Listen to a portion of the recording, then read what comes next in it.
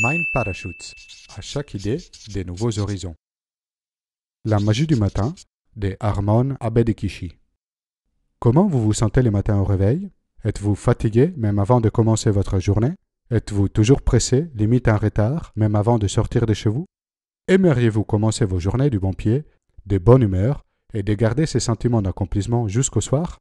Harmon Abedikishi, auteur du livre La magie du matin, comment mieux dormir, se réveiller productif et créer une routine matinale extraordinaire, souhaite nous donner toutes les clés pour démarrer notre journée de la meilleure manière et au passage assurer le succès dans la vie.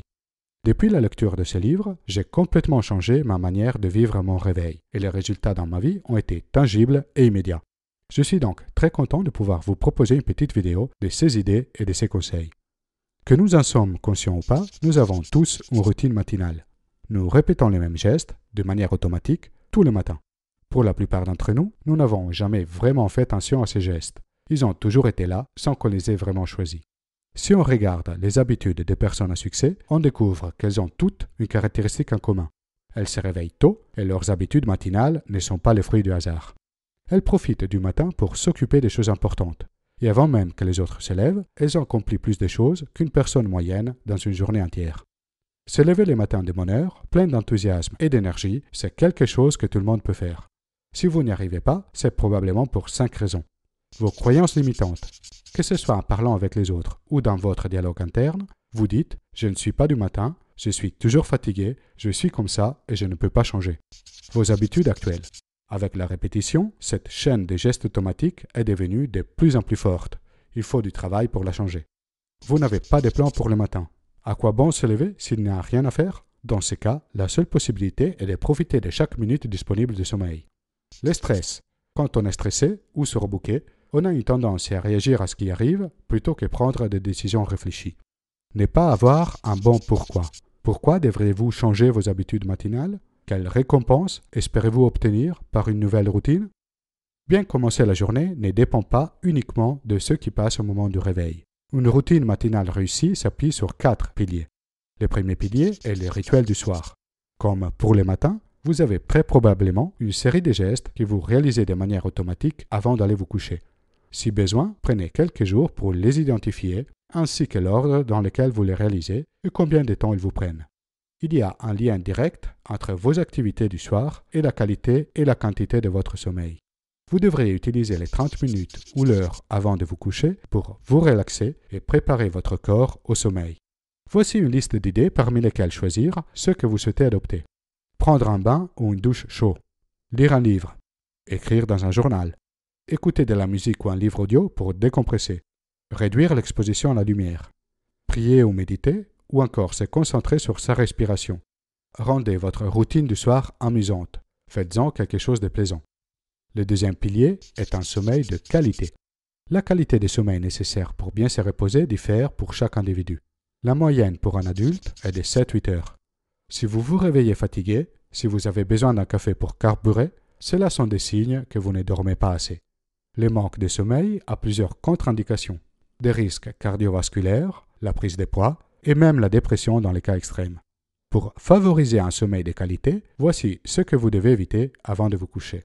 Évitez les dîners copieux et les aliments difficiles à digérer.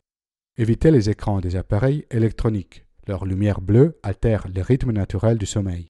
Évitez des stimulants comme l'alcool, la caféine ou la nicotine. Ne pensez pas au travail ou à tout ce que vous attend le lendemain. Le stress et les préoccupations vont vous réveiller. Et aussi, voici comment vous pouvez améliorer votre sommeil. Soignez les conforts de votre literie, matelas, draps, housses, oreillers. Dormez dans les noirs absolus. Bloquez toute source de lumière. Réglez la température de votre chambre entre 16 et 19 degrés. Faites taire votre dialogue interne. Si des pensées anxieuses tournent en continuation dans votre tête, sortez-les en les mettant par écrit. Videz votre esprit en vous focalisant sur votre respiration. Le troisième pilier est de se réveiller productif. Voilà quelques idées pour y parvenir.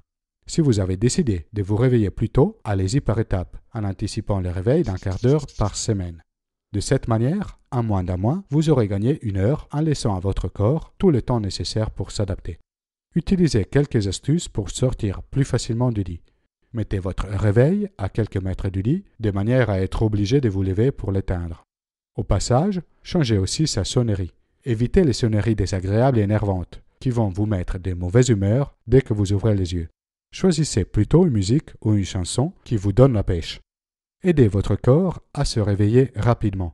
Dans les minutes qui suivent votre réveil, lavez votre visage avec de l'eau froide, exposez-vous à la lumière, idéalement naturelle, buvez de l'eau pour vous hydrater, faites de l'exercice physique, du yoga, un footing ou tout simplement une promenade en plein air.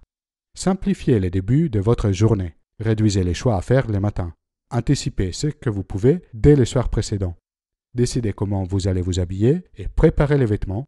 Laissez tout prêt pour votre petit déjeuner. Préparez vos affaires de sport à côté de votre lit. Et pour finir, le quatrième pilier, la magie du matin. C'est le moment de choisir ce que vous allez faire une fois réveillé. Votre routine matinale est exclusivement pour vous. C'est un cadeau que vous faites à vous-même. Laissez tomber ce que les autres attendent de vous. Faites ce que vous voulez, ce qui vous fait plaisir. Profitez de ces temps pour alimenter votre corps et votre esprit. Voilà les trois étapes pour planifier votre matinée idéale. Décidez combien de temps dédier à votre routine.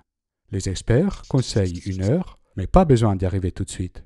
Vous pouvez commencer par 10-15 minutes et progresser par étapes.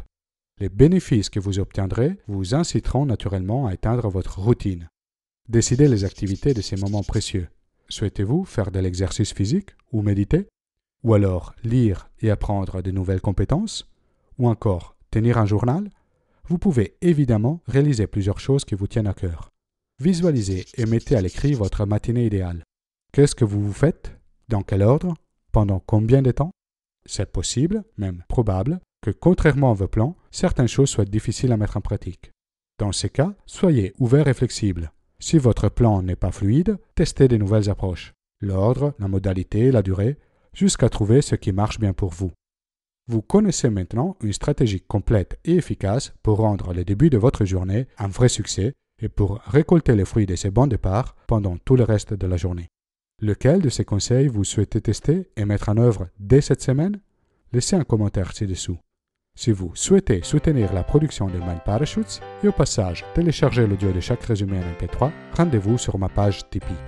Vous pouvez télécharger la mindcard de cette vidéo et de toutes les vidéos précédentes depuis mon site internet mindparachutes.com. Si vous avez aimé la vidéo, inscrivez-vous à ma chaîne YouTube et partagez la vidéo autour de vous.